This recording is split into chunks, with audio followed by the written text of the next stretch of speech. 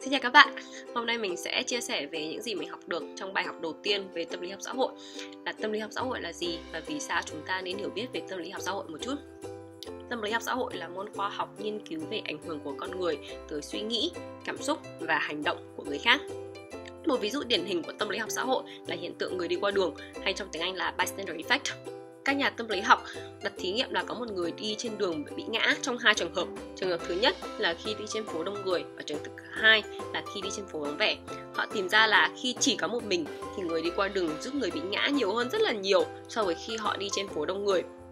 Điều này đồng với nghĩa với việc hiểu rằng sự xuất hiện của người khác trên phố ngăn cản hành động giúp đỡ lý giải cho hiện tượng người qua đường sẽ được đề cập đến chi tiết trong những bài học sau.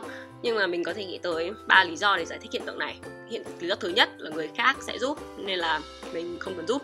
Lý do thứ hai là sẽ có người khác khỏe hơn, hiểu biết hơn và có nhiều thời gian hơn để giúp đỡ người bị nạn.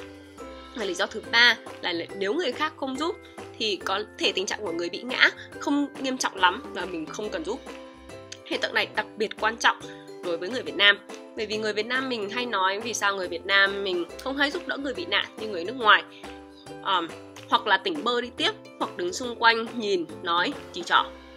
Không phải là vì mình có ý thức kém hơn hay là không có nhiều tình thương bằng người nước ngoài mà là thứ nhất đường phố ở các thành phố lớn của Việt Nam rất đông.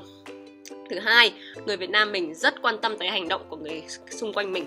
Đương nhiên người Việt Nam mình sẽ bị ảnh hưởng nhiều bởi vì hiện tượng người đi qua đường lý do vì sao chúng ta nên học tâm lý, học xã hội là bởi vì con người có lỗi sai cơ bản về quy lỗi, trong tiếng Anh là fundamental attribution error. Một trong những nhà tâm lý học có ảnh hưởng lớn nhất tới ngành tâm lý học xã hội đây là Elliot Aronson đã viết rằng những người làm những hành động điên rồ chưa chắc đã bị điên. Lý thuyết về lỗi sai cơ bản về quy lỗi nói rằng chúng ta thường chú trọng quá nhiều về sự khác biệt giữa người với người mà lại quá coi thường ảnh hưởng của xã hội với hành động của con người. Ở Mỹ vào những năm 60 có một vụ giết người kinh điển làm cho báo chí tốn nhiều giấy mực nói về sự lãnh cảm của con người sự việc xảy ra ở Queens, New York.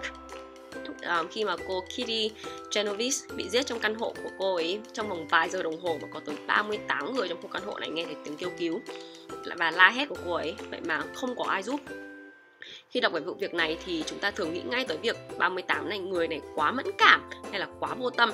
Thay vì nghĩ tới hiện tượng người qua đường, mà nghĩ tới việc là những 38 người này biết rằng có những người khác nghe thấy tiếng kêu cứu của cô Kitty, nên họ không cần giúp đỡ, bởi vì là chắc sẽ có người khác giúp.